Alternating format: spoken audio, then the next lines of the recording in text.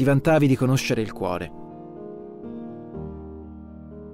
Ti vantavi di conoscere il cuore.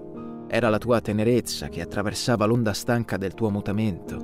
Baravi su pesi e levità della bilancia degli eventi. Favorivi spudorata una sopportabile fragilità. Era il tempo inossidabile della tua remissione senza colpa, nell'oscillante regno del dubbio, della sperata grazia. Gli dei si possono concedere come una punizione. Mi dicevi in un tempo di certezza presuntuosa, mentre presi dai quotidiani traffici per esistere, ignoravamo d'essere servi inutili nella geometria della storia. Occorreva molta forza per decidersi alla propria debolezza, al tempo che ossida i ricordi, all'addobbo per l'ospite inatteso, per vestire di vanità l'intuizione che rivela, in rimpianti, misurare gli addii.